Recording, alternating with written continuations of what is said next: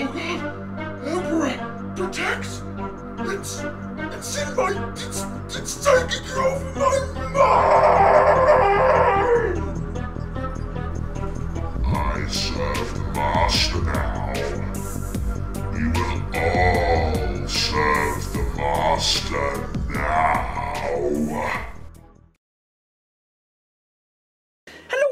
And welcome back to another video. So guys, what are we going to be doing today? Well, if you hadn't guessed by the title of the video, we're going to be looking at the Enslavers. Now, Enslavers are a really, really cool little race uh, in uh, 40k. Now, they're quite, not quite known, there's very little information on them, there's also very, very little uh, images of them as to what they look like. Uh, and there's also no models made by Games Workshop, to my knowledge.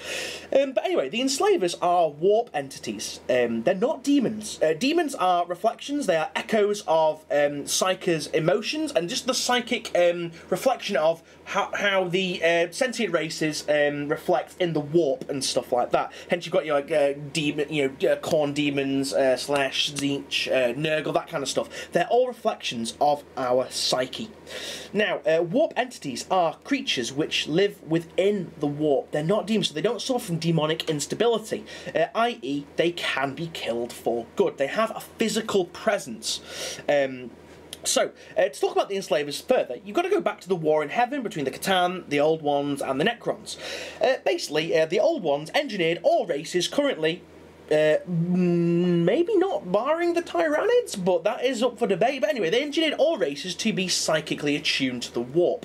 Um, now, what this did, this caused a massive disturbance within the Immaterium, and um, it caused the somewhat peaceful um, creatures of the warp to come through to real space with all this, you know, latent psychic potential out there. Now, it's up for debate again whether or not the enslavers were peaceful or not prior to this warp disturbance. But again, like I say, it's up for debate. No one really knows.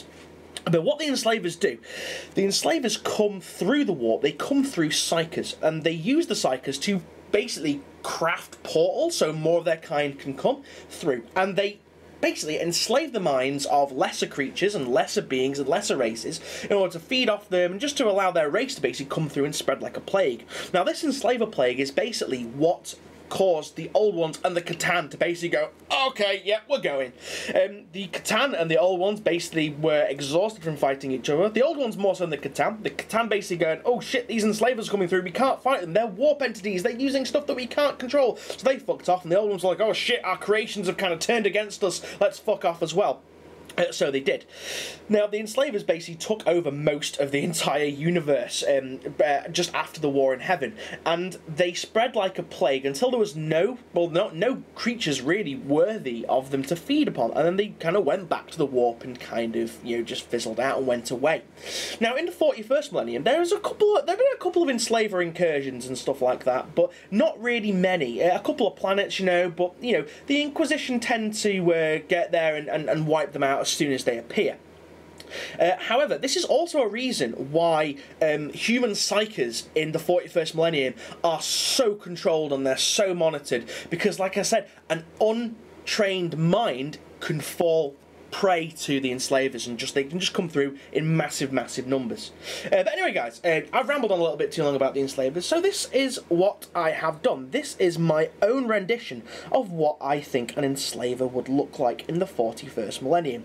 Now as i said before there's no official models and um, there's only ever been uh, one small set of rules in the uh, in White Dwarf and stuff for enslavers, and they were very very overpowered. Uh, they essentially can take control of an entire army in the rules. Um, however, for um, my project that I'm about to embark on, uh, I'm going to be using these guys and using the rules for Zoanthropes because they fit the profile pretty well.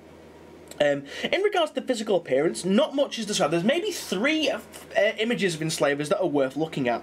However, they are all described as being kind of spherical, you know, kind of like a ball sack with tentacles, uh, and they all kind of had a, a lot of tentacles coming down. Um, and you know, later stuff says that they have a kind of arachnoid, an arachnid-like face, such as what I've tried to go for here.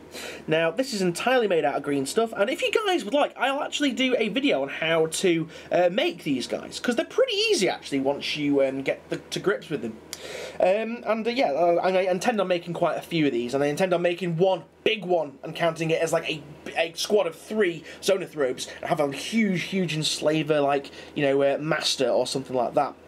Um, but anyway, the reasons for me wanting to do enslavers is because they're really, really interesting. Because they can enslave pretty much the minds of any race, barring the likes of Necrons because they're mechanical. Now, they might possibly have a hard time kind of enslaving. Um, uh, the minds of uh, any mechanicum, uh, you know, kind of um, uh, tech priests and stuff, because of the you know the um, robotic and computerized portions of their brains.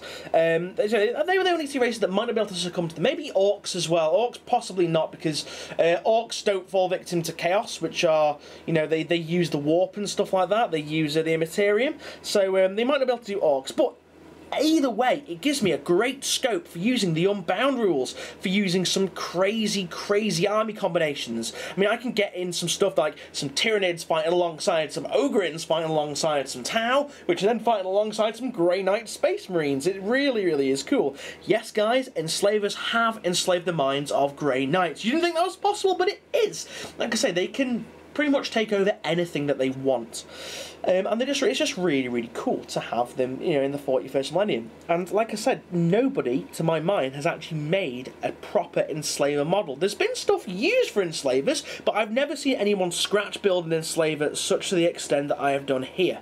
Um, let's just zoom into this guy a little bit. I, I was really, really, I, I, was literally just messing around. Actually, no, guys, I've suffered from a bit of burnout recently, and this was just a really, really nice exercise um, just to get my sculpt in back on point. And just to experiment really with some other techniques. Like I've used some different techniques on this um, kind of ball sack looking area here.